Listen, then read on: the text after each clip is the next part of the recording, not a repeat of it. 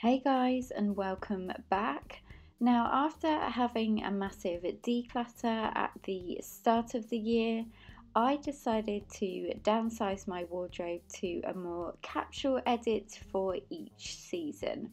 So, today I am sharing with you seven easy steps to take to build your own capsule wardrobe full of clothes that you really love and enjoy wearing.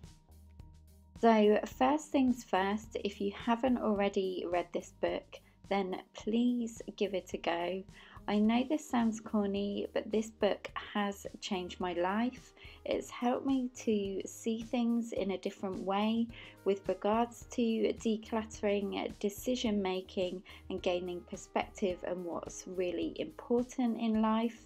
So, I'll pop the link down below if you're in need of some decluttering and motivation. So once you've had a good declutter, you can now visualize um, everything that you do have.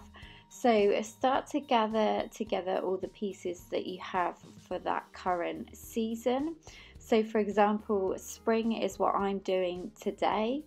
Then next I'm laying them out into sections. So for example, camis, t-shirts, jackets, bottoms, shoes, etc. And I'm then writing down every piece that I have already in a dedicated capsule wardrobe notebook. Next, it's time to get inspired. So now that you're aware of what you do have, you can then look on places like Pinterest for outfit inspiration and how to style each piece. I search for outfit ideas for pieces that I already own for example, if you have a pink t-shirt, you could search for pink t-shirt outfit ideas to see how you could style something a bit differently. I also look on Like to Know It for outfit inspo and I keep my own folder full of likes on Instagram that I can go back and search through. Next, it's time to visualize your capsule wardrobe. So I actually like to hang everything I have on a standalone rail.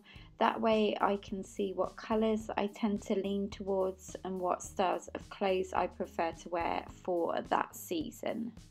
Then once you have everything hung up, you can probably by now be able to gauge what goes together and how many pieces you will need and what you will need to buy extra to complete your capsule collection.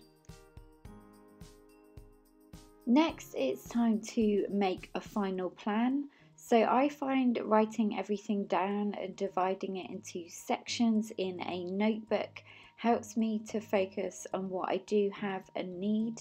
It's important to know your style and what colours suit you. So I sketch out my colour palette first and then I again set out and write down everything into sections starting with camis, t-shirts, blouses, etc.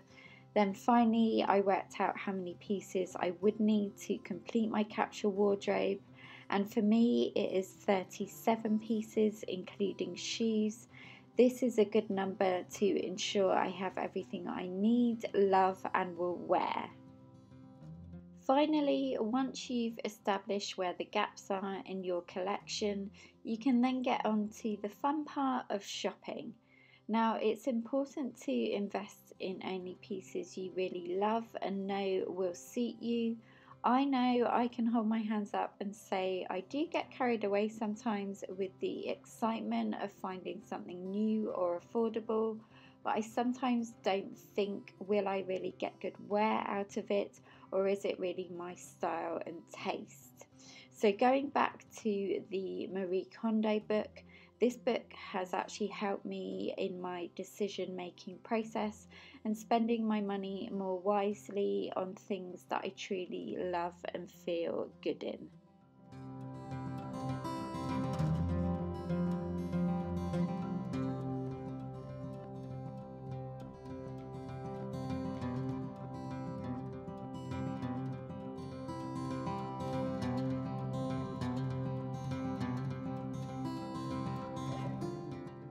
So guys, thank you so much for watching And please give this video a big thumbs up if it's inspired you today.